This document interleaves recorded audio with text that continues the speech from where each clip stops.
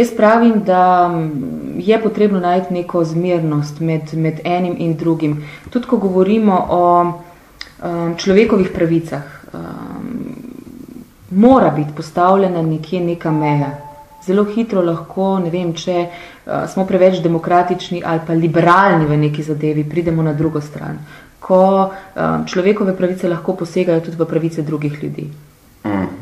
Meja nedvomno mora biti za vse ljudi uh, v naši državi, morajo veljati zakoni uh, pod enakimi pogoji. Verjamete pa veliko ne grete v SD, recimo? Jaz verjamem v Lipo. Ta uh -huh. odločitev je bila um, zavestna, tudi sama po naturi sem uh, lojalen človek in uh, svojima dvema poslanskima kolegama uh, ne bi na tako podov način zarinila nošo hrbet. No, je pa res, da so obstajali pogovori, še vedno potekajo pogovori, ampak ti pogovori grejo v smeri bom rekla, konstruktivnega sodelovanja v prihodnje. Ne na zadnje, um, tudi SD so v opoziciji, se pravi opozicijska stranka in kolikor želimo uh, jasno in glasno povedati in nastopiti proti slabi, uh, zelo togi, restriktivni politiki, vladajoči, vladajoči politiki, se pravi vlade Republike Slovenije, potem mora biti opozicija enotna. Mislim, sigurno ne izključujete možnosti, naprimer, koalicije z SDM, pa recimo, vkolikor pride do zmage, levice na naslednjih parlamentarnih. In da vi prijete v parlament. Nikoli ne reci nikoli, puščamo se odprta vrata, kot pa že rečeno, zaenkrat uh, potekajo pogovori in jaz verjamem, da smo v teh pogovorih uspešni in da tudi na obeh stranih je volja, da uh, ostanemo, bom rekla, v nekem konstruktivnem sodelovanju. Tu me zanima, ko smo gledali vroči sto od voduška, tam je bil zraven Polšak, ne, mene je to malo sicer začudo, zdaj Polšak, Polšak, no, pardon za izgovorjavo. Ampak on je pol govoril na primer o narodnjaški politiki, pa me zanima, on je govoril, da je Linčič izdal narodnjaško politiko in na nek način sugeriral, da bi sedaj vi lahko bili ta narodnjaška politika, ne vem, kako ste vi videli te njegove Jaz bi ga sam dopolnil, Polšak se verjetno nanašal na leto 92, ja, ne očito je Linčiču, ja, vem, za naše poslušalce, okay. koketiranje pač z Drnovškom, na mesto pač eh, z narodnjaki. Ja, Jaz zdaj jaz težko komentiram pač njegove izjave. Jaz sem povedala, kakšne so smernice, kaj je cilj delovanja nove stranke, ko bo do nje formalno prišlo.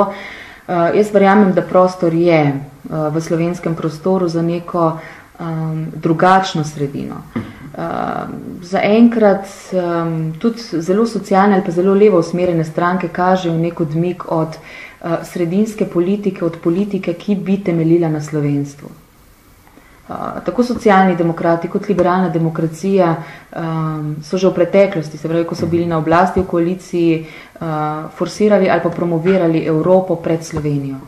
In danes dejansko smo uh, v nič kolikokrat ali pa v, v številnih zakonih, številnih primerih videli, da se daje prednost Evropi tujini pred, pred našo lastno domovino. Tudi ko govorimo o prodaji uh, državnega premoženja nova kreditna banka Maribor, ponočam, ker pač to ni moje področje, ker bi bila jaz specialist, ker bi tudi uh, izrazito aktivno delovala. Ampak tam je bilo jasno, da so tuje firme dobile bolj ugodne položaje za nakup delnic nove kreditne banke od domačih, kar je nedopustno. Uh, to je tist, kjer vidimo mi svoje delovanje in kjer verjamem, da je zadeva uh, zelo nepokrita, predvsem pa želimo iti v širino. Uh, širina, ki pa nedvomno pomeni tudi povezovanje z pač ljudmi, eh, ki imajo vem, pozitivne rešitve eh, za situacijo, v kateri smo danes mi. A ste euroskeptik? Sprašujem zaradi tega, ker v Evropski uniji vidimo porast bom rekel, tako imenovanih nacionalističnih strank. Ne? To velja tako za nove članice, kot tiste stare tam daleč na zahodu. Ne? Uh, in sicer vse imajo približno uh, enake predznake. Jaz ne bi zdaj tega predznaka risal pred lipo, ampak pač ne sprašujem. Uh, namreč poudarjajo, da se uh, nacionalne identitete utapljajo v nekem evropskem loncu, ne? da se daje vedno prednost uh, tehnokratom. Zdaj vemo, da imamo to pogodbo na evropski ravni. Ne? Um, pa ja, začnemo, ker če ste evroskeptik, pa recimo uh, povejte, kaj si mislite recimo o tej uh, tako imenovani Lizbonski pogon, bi, kaj naj bi jo tudi mi zdaj ratificirali? Ne? Slovenija je zelo mehna država, tudi v okviru Evropske unije, pa to se vidi tudi pri glasovanju dejansko Slovenija v okviru Evropskega parlamenta praktično nima nobene veljave. Sedem članov oziroma osem um, je bistveno premalo, da bi lahko um, ne vem, zelo izrazito zagovarjali svoje nacionalne interese v okviru um, Evropske unije.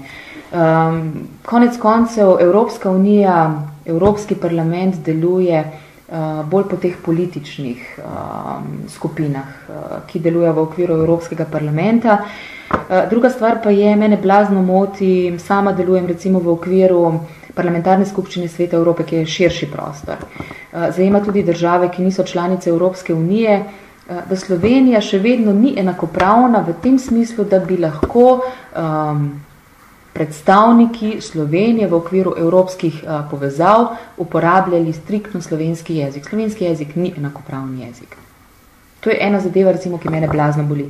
Po drugi strani pa, ko ste omenili porast nacionalizma v državah članicah Evropske unije, to je po eni strani zelo logičen odgovor na um, situacijo, kakršna je v Evropski uniji. Povedala vam bom samo primer Slovenije. V Sloveniji se je v zadnjem času poslabšal položaj 40 eh, oziroma odstotkom gospodinstev. To pove veliko. Tudi visoka inflacija um, ni samo v Sloveniji, je v celotni Evropski uniji. Res sicer je, da je v Sloveniji ta inflacija na bistveno višji ravni kot drugje v mhm. okviru Evropske unije. Evropi, je pa to tudi posledica tega, da praktično nismo bili dovolj dobro pripravljeni na uh, ta širok prostor. No, pa ta porast nacionalizma ima sigurno, je iracionalen, pa ima večinoma same negativne učinke.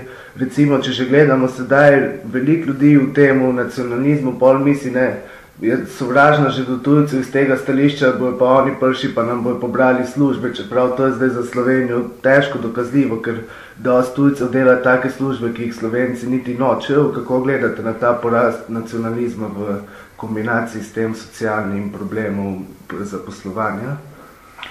Ta problem se lahko odpre, koliko niso pravila v neki nacionalni državi dovolj jasno definirana.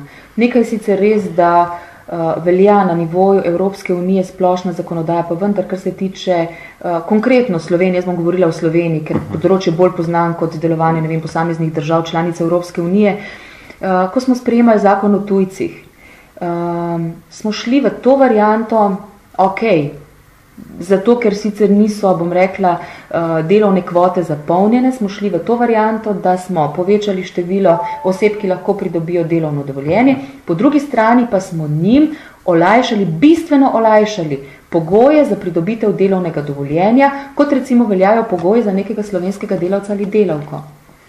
To je problem, vse drugih problemov ni. Jaz pravim, ja, sej prav, če se na nekem področju pokaže, pa v neki panogi pokaže eh, primankljaj, je prav, da ga poskušamo uh, zapolniti, ampak na nek racionalen, zmeren, spremljiv način. Da ne bo zato na drugi strani trpel, ne vem, uh,